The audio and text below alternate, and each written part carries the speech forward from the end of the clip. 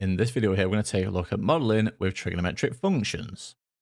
So trigonometry can be used to model real life situations such as the following here. So what do we have then? Well, for example, we could model the depth of water in a harbour, or we could model the height of a Ferris wheel. And then finally here, we could model the temperature in a room on a given day. So as always here, these three examples I've chosen they are just randomly chosen and don't represent anything special, but they do give you a bit of an idea, a bit of a snapshot of the type of things that we can model using trigonometric functions. Now, questions that involve modeling with trigonometric functions may require the use of the harmonic identities, which you may also know as the R formulae, and we did introduce those in the previous video. So just recall them. That a sine x plus or minus b cos x is equal to r sine of x plus or minus alpha and that a cos x plus or minus b sine x is equal to r cos of x minus or plus alpha. Okay. So r here is strictly greater than 0, and alpha is between 0 and 90 degrees, or 0 and pi over 2 if we're working in radians. And then in that case here, r is equal to the square root of a squared plus b squared, and r cos alpha is equal to a, and r sine alpha is equal to b. Okay. So that gives us everything that we need here then for our introduction to modeling with trigonometric functions. All we're going to do here now is take a look at one practice question. So let's just take a look then at this one practice question here for modeling with trigonometric functions. So as we can see here, we do have quite a long question, right? And this is broken down into four individual parts. We've got part A, part B, part C, and then finally here, part D. So for this question here, what we're told then is the movement of a bird as it flies above ground is recorded. The height h meters above ground level is modeled by this given equation here, where t is the time measured in seconds from when the bird passes over a checkpoint.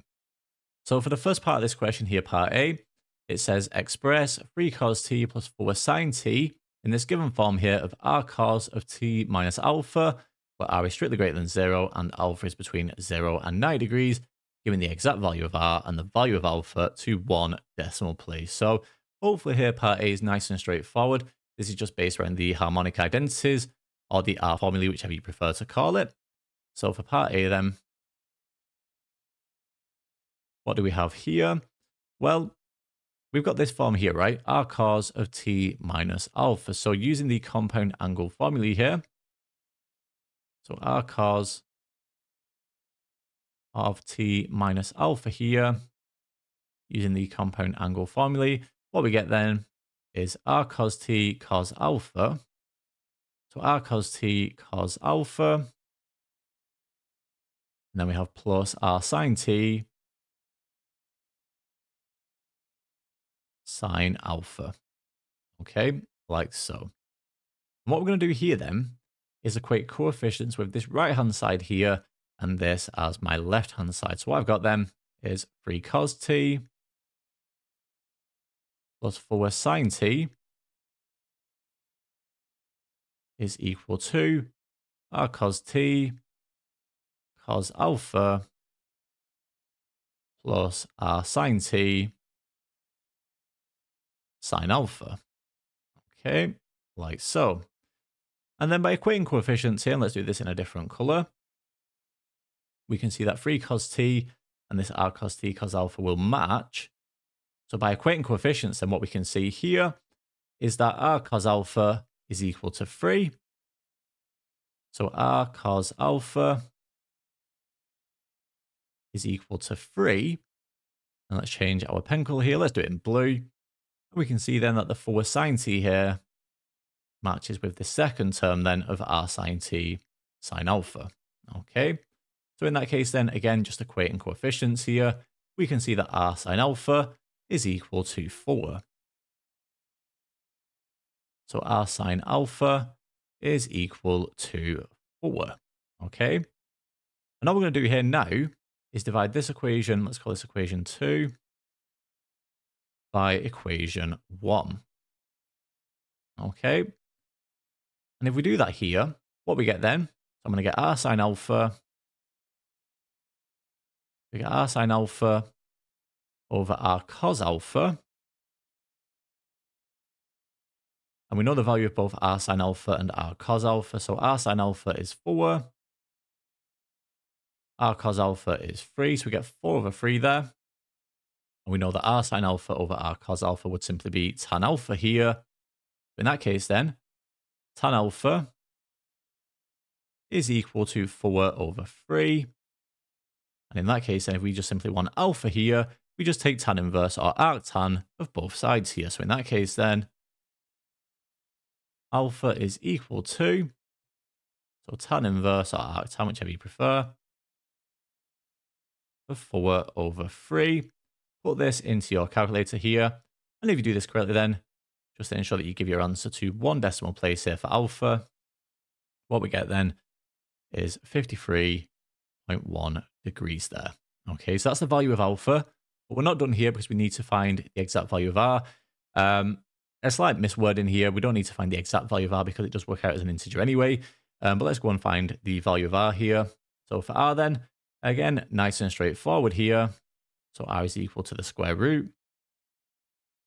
We get the square root here of, so it would be 3 squared plus 4 squared, right? We get 3 squared plus 4 squared here, like so. So what I get then is the square root here. I get 9 plus 16. Hopefully you recognize straight away that this is one of our Pythagorean triples. Get the square root of 25, which is equal to 5 here. Okay. So altogether then, what I've got here is 3 cos t plus 4 sine t. We've got 3 cos t plus 4 sine t. And that then is identical here to r cos of t minus alpha. So r is equal to 5. I get 5 cos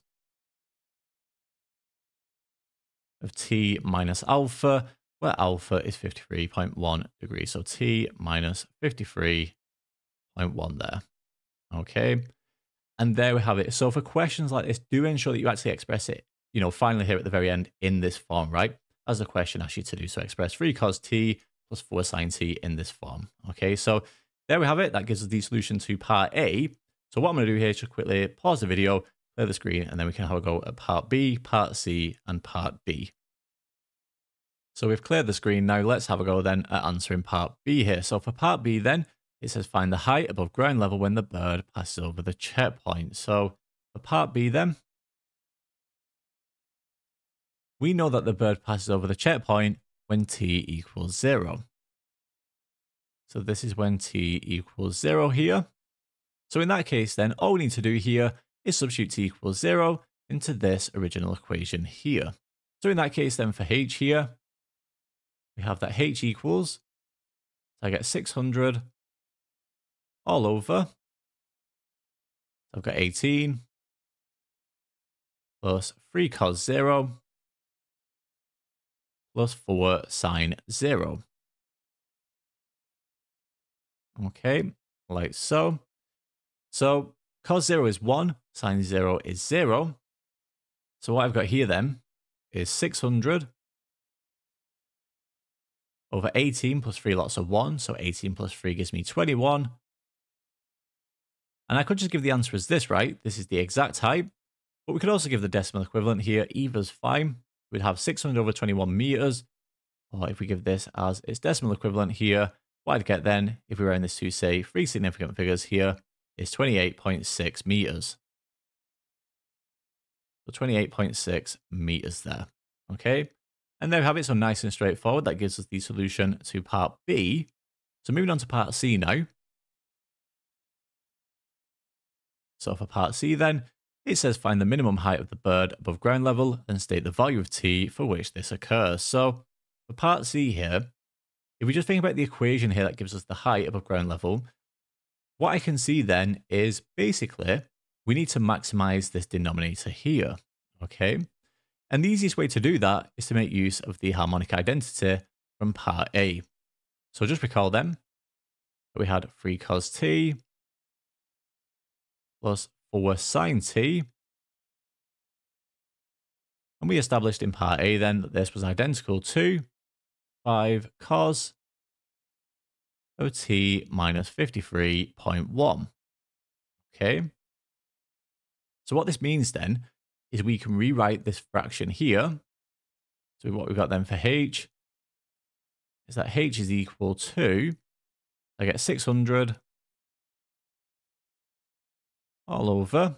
I had 18 plus 5 cos of t minus 53.1. Okay, so 5 cos of t minus 53.1. Okay, like so. So to maximize this denominator here then, if we just think about this for a moment, the way to do that would be to consider the maximum here of the cosine function, which in this case would just be 1, right? So the maximum here of cosine is 1. The max here is equal to 1. And this occurs then when the argument here of cosine is 0. Okay, so in that case then, we need the argument here of the cosine function to be 0. So in that case, that would just be when t is equal to 53.1. So the max is equal to 1 when t is equal to 53.1, like so. So in that case then, we get five lots of 1 here, so that's 5. 18 plus 5 gives me 23. So in that case then, for h here, we get 600 over 23.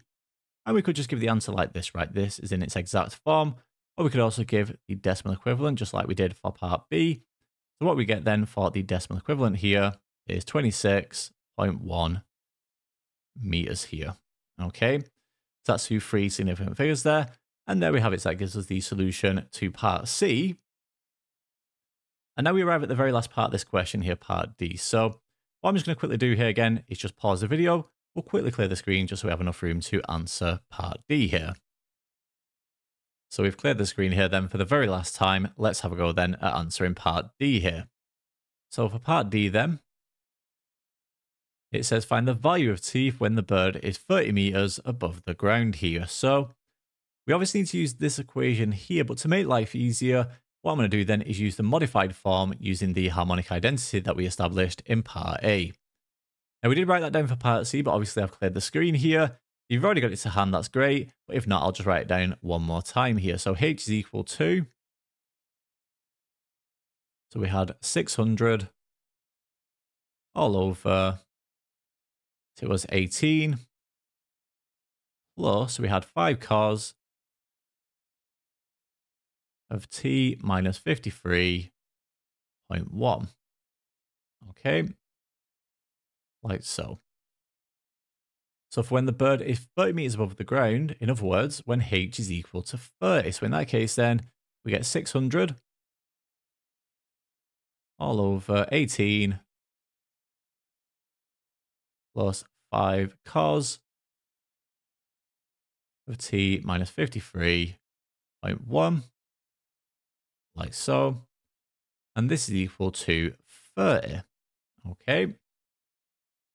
So the easiest thing to do here then is to times both sides by this denominator here. So times both sides by 18 plus 5 cos of t minus 53.1.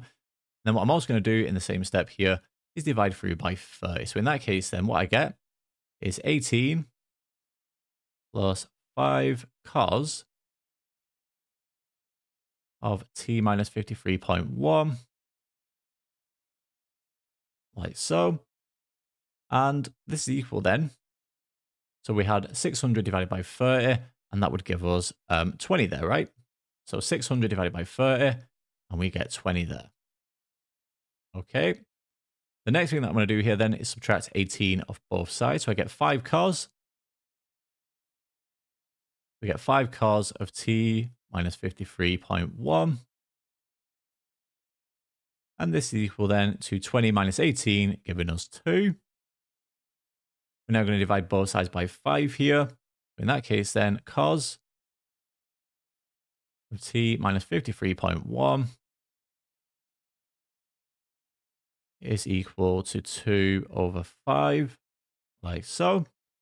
And we're nearly here now. So if we want the value of t then, and I need to take um, cos inverse of both sides here, what I'm also going to do is add 53.1 to both sides, right? So in that case then, we get t minus 53.1